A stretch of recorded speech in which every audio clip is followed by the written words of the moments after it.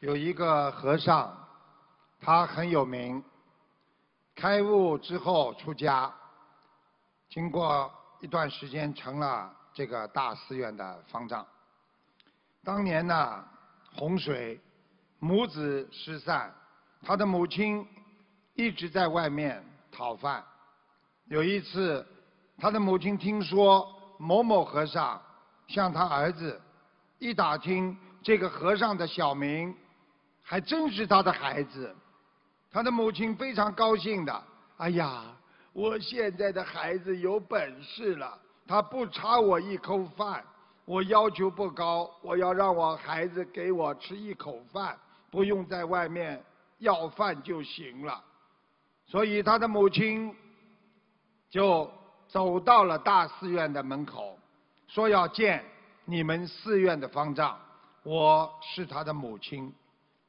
方丈一听，马上就出来，一看到母亲，抱头痛哭，然后把他接了进去。他母亲说：“孩子啊，你现在过得好了，但是母亲天天都在街头要饭。现在我老了，我要不动了，你也长大有本事了。你看你管的寺院这么多人。”我要求不高，你就安排一个小房间给我吃一口饭，让我度过晚年，行吧？大和尚说：“不行。”他母亲苦苦哀求：“和尚不是讲慈悲吗？”大和尚说：“因为你不学佛，你不念佛，所以你一定不能待在这里。”他母亲说。那你到底呃怎么样才能让我留在这里呀？和尚说：“我有个条件，妈妈，你要能接受我这个条件，我就留下你。”他母亲说：“啊，什么条件？你说吧。我现在老了，走也走不动了，天气又冷，我会冻死、饿死在外面的。”和尚说。那是你自己的事情。他母亲想了想，儿子这么坚决，没办法。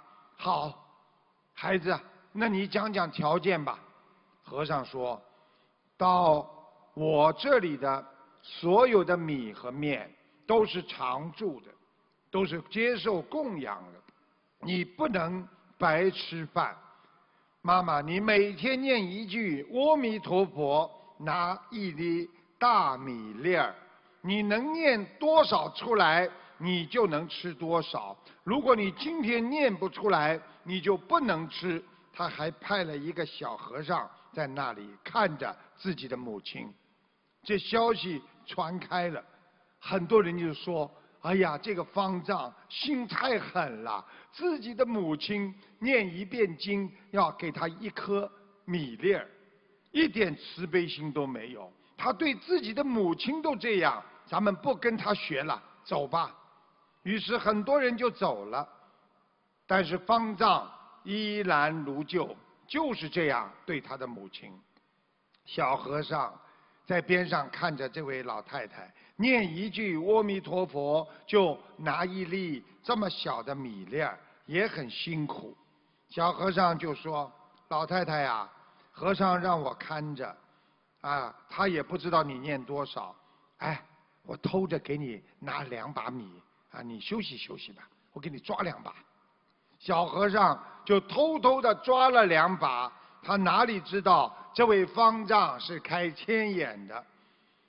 过一会儿，方丈把小和尚找来，跟他说：“你今天害了我的母亲，给他抓了两把米，你没让他念佛，今天。”他不准吃饭，你被开除，赶出庙门。小和尚还被挨了三香板，这下把他母亲吓得没捞着饭吃不说，还把小和尚赶了出去，名声更臭了。这个方丈寺院的香火越来越零落，一晃三年过去了。有一天，老太太开口了，叫你们的方丈过来。我有话跟他说。在旁边看着的小和尚一听，赶紧去找方丈。方丈去了之后，他的母亲盘腿在那里坐着，说：“方丈，感恩你的慈悲，三年过去了，你终于渡了我。阿弥陀佛，已经来接我了，我该走了。”然后一闭眼睛，往生了。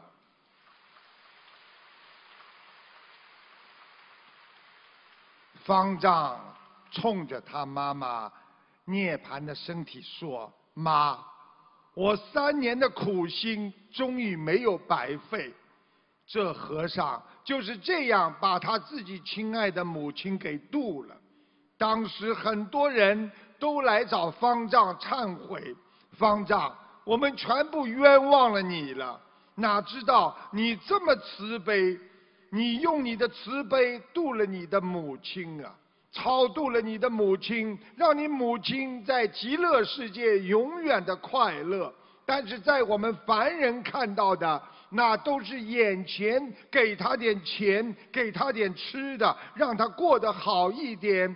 可将来可能就完了，生生世世的六道轮回，得不到解脱呀。